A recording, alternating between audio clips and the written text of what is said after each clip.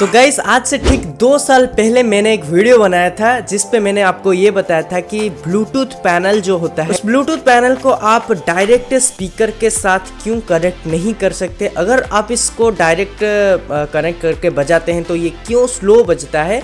और कैसे इसको डायरेक्ट स्पीकर के साथ कनेक्ट करने पे कैसा इसका रिएक्शन रहता है? तो जी हाँ इस वीडियो में आपका अच्छा खासा रिस्पॉन्स था और उसी वीडियो के बाद मैंने इसका पार्ट टू का वीडियो बनाया जिस पे आपका बहुत सारे कमेंट्स को मैंने कवर किया था, बहुत सारे कमेंट्स का आपका क्वेश्चंस का आंसर दिया था, जिस पे आपका सबसे कॉमन क्वेश्चन ये था कि इसका आवाज़ जो है वो क्यों इतना स्लो आ रहा है और हम इसको कैसे बढ़ाएँ। तो पार्ट टू के वीडियो में मैंने बताया था एम्पलीफायर और प्री एम्पलीफायर के कॉन्सेप्ट के बारे में। तो जो हमारा ब्लूटूथ पैनल होता है, वो बेसिकली एक प्री एम्पलीफायर होता है।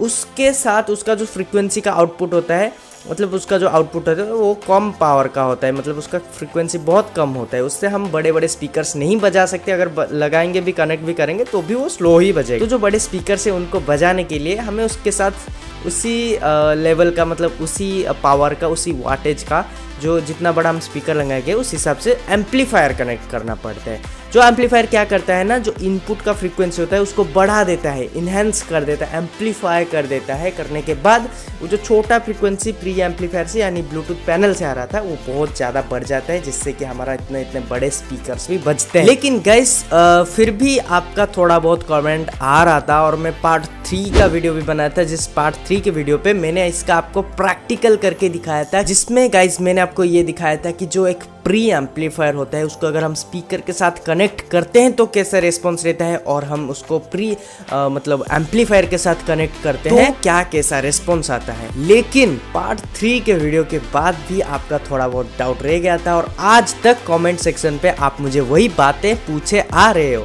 तो जी हाँ गाइज़ ये जो सीरीज़ है, इसका ये पार्ट फोर वीडियो होने वाला है और इसी सीरीज़ का मैंने एक स्पेशल प्लेलिस्ट इस बना दिया है, जिसका लिंक आपको डिस्क्रिप्शन पे मिल जाएगा। तो ये जो पार्ट फोर का वीडियो है, इस पे मैं आपका वही सबसे कॉमन क्वेश्चन जो आज तक मुझे पूछा जा रहा है, उसी क्वेश्चन का मैं आंसर करने वाला हूँ। और वो क्वेश्चन है कि भाई साहब, ये जो स्पीकर का साउंड है, इसको हम बढ़ाएँ कैसे? स्पीकर का साउंड को हम कैसे बढ़ाएँ? हाँ तो स्पीकर का साउंड को बढ़ाने के लिए आपको कुछ भी नहीं करना पड़ेगा, जैसा कि मैं पहले बताया हूँ। इसके साथ आपको एम्पलीफायर कनेक्ट करना पड़ेगा। बिना एम्पलीफायर के, आप एक प्री एम्पलीफायर से कैसे भी हो स्पीकर को लाउड साउंड में नहीं बजा सकते। लेकिन ये जो एम्पलीफायर है, ये सुनने में बहुत एकदम ऐसा लग रहा होगा, अरे भाई एम्पलीफायर कहाँ से लाए?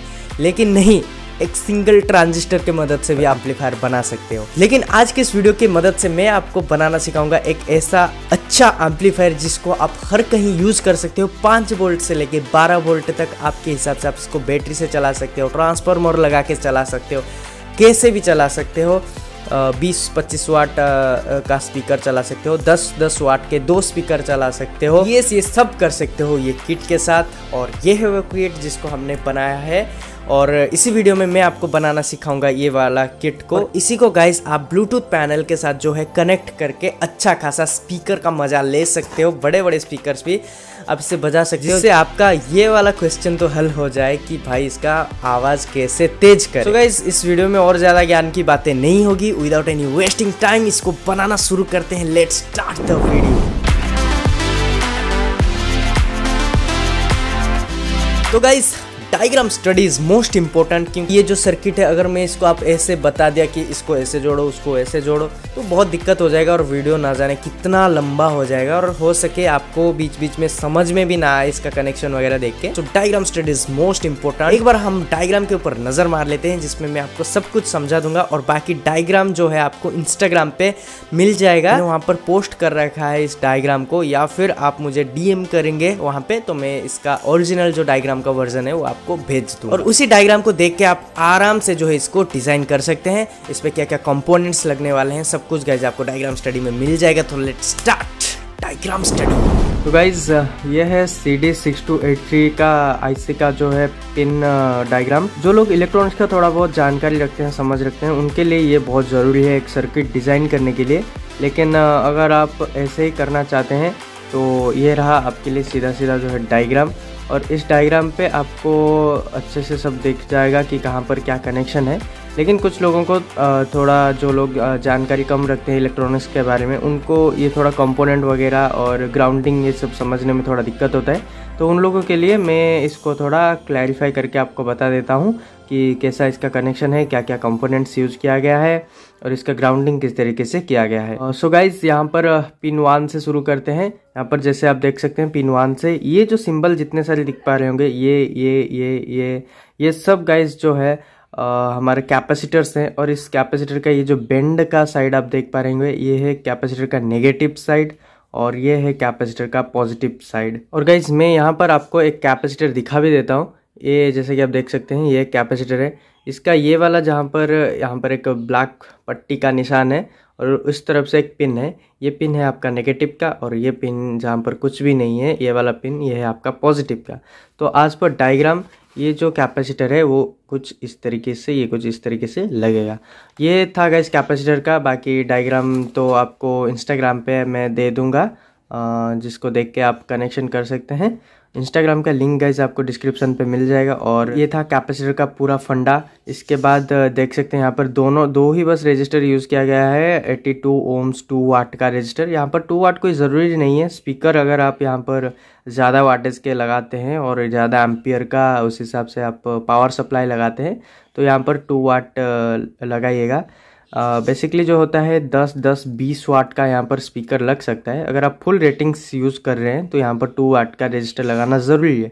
लेकिन आप 10 10 वाट का अगर लगा रहे हैं स्पीकर दोनों में पाँच पाँच वाट करके ऐसे लगा रहे हैं, या फिर इसको आज ए मोनो यूज़ कर रहे हैं, एक ही स्पीकर लगा रहे हैं तो यहाँ पर आप क्वार्टर वाट का भी लगा सकते हैं, कोई दिक्कत वाली बात नहीं है। और उसके बाद गाइज़ बात आता है इसके ग्राउंडिंग की। यहाँ पर देख सकते हैं, जो ग्राउंडिंग हुआ है ग्राउंडिंग में ये जो जहाँ पर G N D G N D और यहाँ पर ऐसे सिंबल एक ग्राउंडिंग का सिंबल दिया गया है, इन सबको गाइस आपको आपस में एक वायर के साथ शॉर्ट करना है और 12 वोल्ट का यहाँ पर पॉजिटिव इनपुट है तो यहाँ पर 12 वोल्ट का नेगेटिव इनपुट के साथ कनेक्ट करना है। इसका मतलब होता है ग्राउंडिंग का।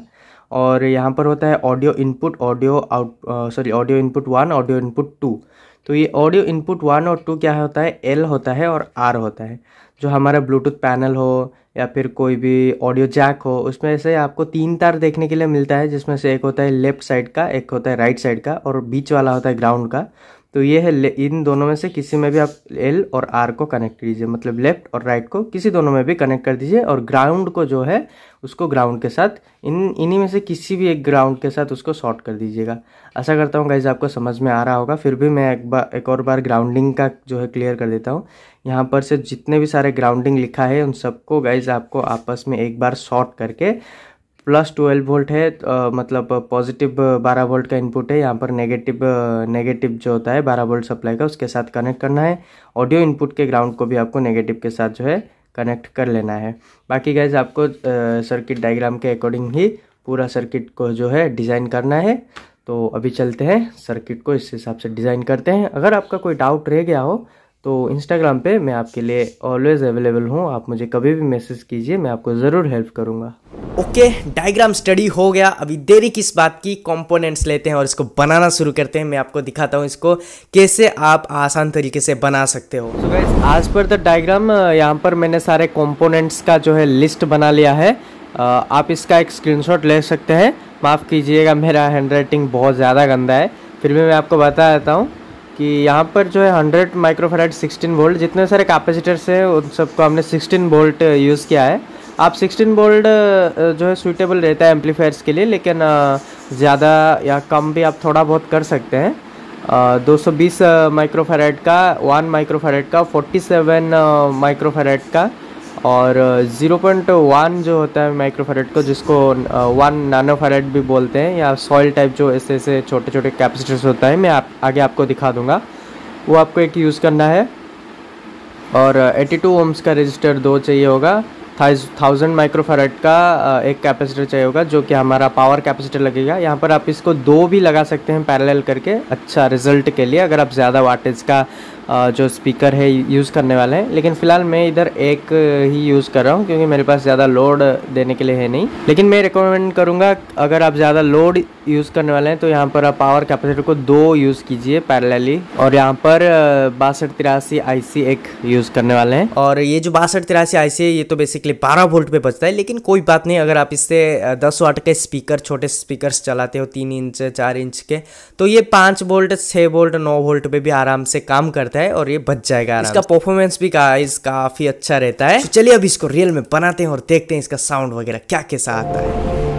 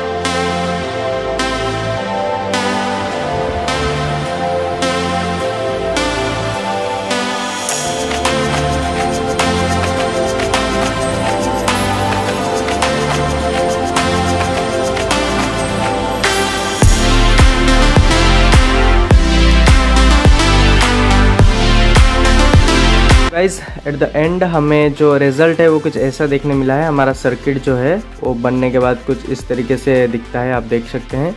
इसके पीछे गैस हमने कुछ इस तरीके से इसका कनेक्शन कर रखा है। एक्स्ट्रा गैस मैंने यहाँ पर एक सेवन एट ज़ीरो फाइव का वोल्टेज रेगुलेटर ट्रांजिस्टर लगाया है, ताकि जब हम इसको 12 वोल्ट में चलाएँ तो हमारा ब्लूटूथ पैनल भी 12 वोल्ट पे ना चल के 5 वोल्ट पे चले और हमारा ब्लूटूथ पैनल कोई ख़राब ना हो। और टेंशन मतलब इसमें पाँच वोल्ट दोगे तो भी आउटपुट में पाँच वोल्ट ही आएगा। बारह वोल्ट दोगे तो भी इसका आउटपुट पाँच वोल्ट ही आएगा।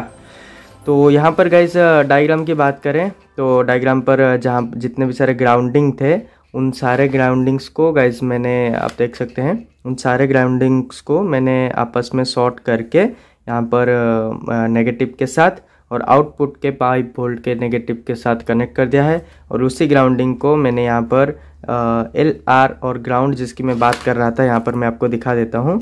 इन तार में से, इन तारों में से दोनों जो, दोनों साइड के हैं, वो है लेफ़्ट साइड और राइट साइड जो ऑडियो इनपुट है, ये दोनों आप देख सकते हैं। ये दोनों गाइज़ और जो बीच वाला है, वो ग्राउंड का। तो यहाँ पर अगर हम डायग्राम की बात करें तो दोनों हमारे जो वायर्स हैं as you can see guys हमारे जो दोनों as you can see guys हमारे जो दोनों वायर्स हैं, वो कुछ इस तरीके से लगेंगे। और हमारा जो ग्राउंड का वायर है, वो ग्राउंड का वायर यहाँ पर हमारा लग जाएगा कुछ इस तरीके से।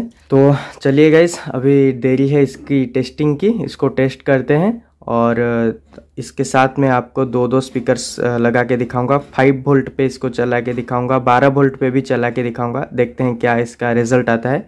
उसके बाद गाइज़ मैं इसको ब्लूटूथ पैनल के साथ एकदम अटैच करके भी दिखाऊँगा कि कैसे ये एकदम अटैच होके रहेगा। ये जो आईसी है सिक्स टू एट थ्री का, ये बहुत हिट होता है। तो इसके पीछे आपको एक अच्छा खासा हिट सिंक लगाना ज़रूरी है। जैसे कि आप देख सकते हैं, यहाँ पर हमने इसके लिए एक हिट सिंक अच्छा खासा रेडी कर लिया है। तो इसके पीछे आपको हीट सिंक ज़रूर से लगाना है। बिना हीट सिंक के अगर आप इसको यूज़ करते हैं तो ये ओवर हीट होके ख़राब हो जाएगा।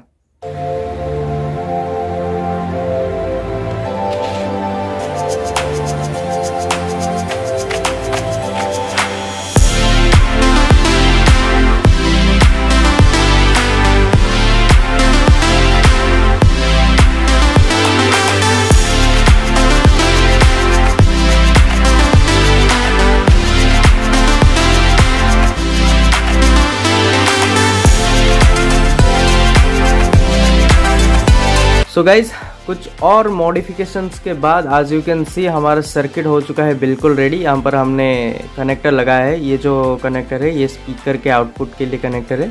और यहाँ पर से आप पाँच वोल्ट हो या बारह वोल्ट हो सप्लाई दे सकते हैं। ये जो दो कनेक्टर्स हैं, इनमें से ये लगेगा ब्लूटूथ पैनल के ऑडियो में और ये लगेगा ब्लूटूथ पैनल के पावर में। अभी गाइज़ मैं आपको लगा के भी दिखा देता हूँ।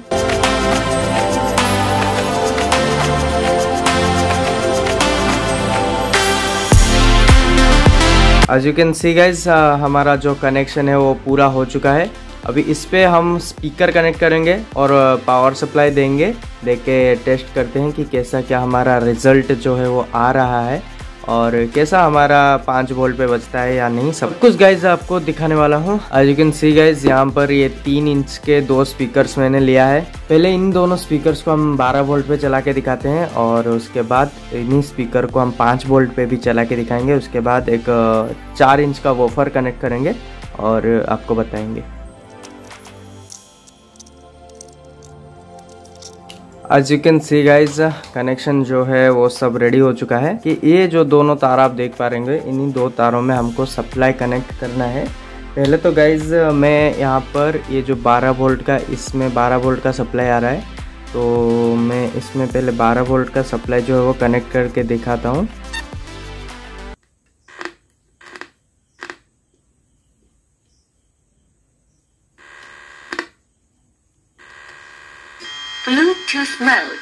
As you can see guys 12 volt पे ये ऑन हो चुका है। और गाइज़ मैं अभी आपको इससे गाना चला कर भी दिखाता हूँ।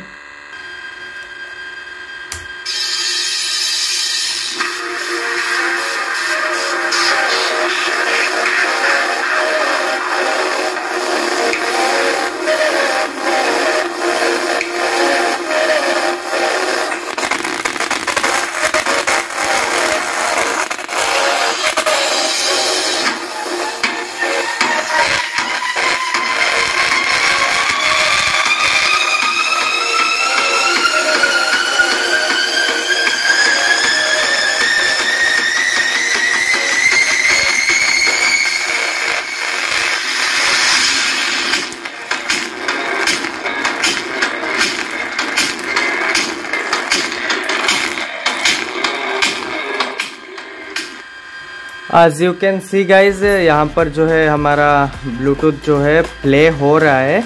गाना भी स्पीकर्स पे आ रहा है।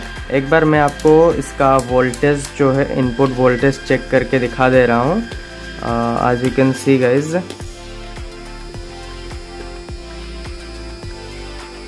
as you can see यहाँ पर 12.34 वोल्ट मतलब ऑलमोस्ट 12 वोल्ट यहाँ पर है इनपुट वोल्टेज तो ये था 12 वोल्ट सप्लाई में कैसे काम करता है।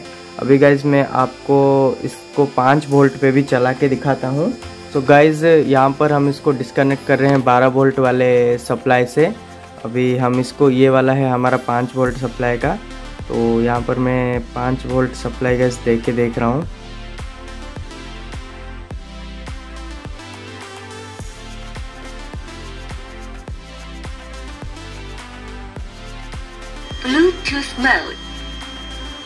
As you can see guys, 5 volt पे भी ये हमारा ऑन हो चुका है। और यहाँ पर मैं आपको एक बार वोल्टेज भी चेक करके बता दे रहा हूँ कि कितना वोल्टेज आ रहा है।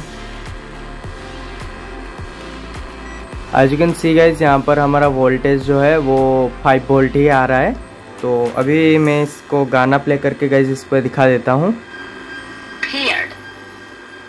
सो गाइज़ ये पेयर हो चुका है फाइव वोल्ट में। अभी गाइज़ मैं आपको दिखाने की कोशिश करता हूँ। देखिए यहाँ पर हमारा दो स्पीकर्स कनेक्टेड है और मैं जो गाना प्ले कर रहा हूँ, वो मेरे लैपटॉप से प्ले कर रहा हूँ।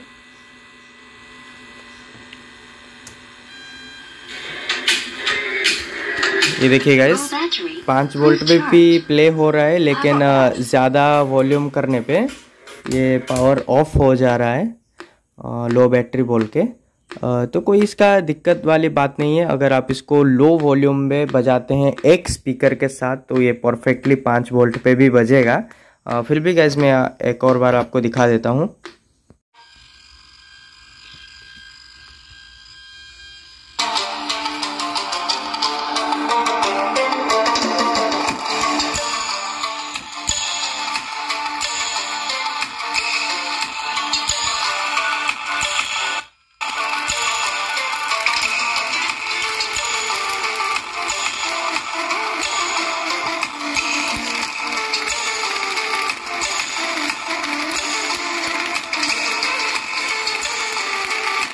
तो गाइज़ तो ये था पाँच वोल्ट पे एक स्पीकर को हम तीन इंच वाले स्पीकर को चला के दिखाए जो कि पाँच वाट का ही है। अभी गाइज़ हम क्या करेंगे बारह वोल्ट से जो है हमारा जो चार इंच का वोफर है उसको चला के दिखाते हैं आपको।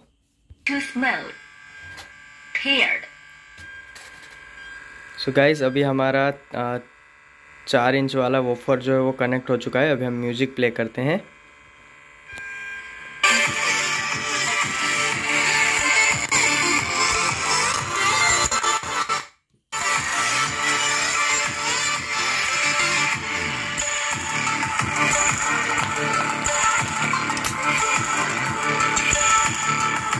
और गाइस इतना ही था इस एम्पलीफायर के बारे में। बेसिकली ये वीडियो ऐसा था कि जो आपका कमेंट आ रहा था कि कैसे साउंड को बढ़ाएँ। तो बेसिकली ये वाला किट को यूज़ करके आप इसका साउंड को बढ़ा सकते हो। और ये जो किट है, इसका अगर कोई थोड़ा भी डाउट वगैरह रह गया हो, आप मुझे बेझिझक इंस्टाग्राम पे मैसेज कर सकते हैं। गाइज़ हर किसी को रिप्लाई देने के लिए रेडी इंस्टाग्राम का लिंक आपको डिस्क्रिप्शन पे मिल जाएगा। और गाइज़ वीडियो पसंद आया तो वीडियो को लाइक कर दीजिए। अपने दोस्त वगैरह के साथ शेयर कीजिए। और गाइज़ फैमिली में जुड़ने के लिए चैनल को जल्द से जल्द सब्सक्राइब कर दीजिए, बाकी हम मिलेंगे एक और ऐसे ही नए वीडियो के साथ इंटरेस्टिंग वीडियो के साथ। तब के लिए all the very best for your future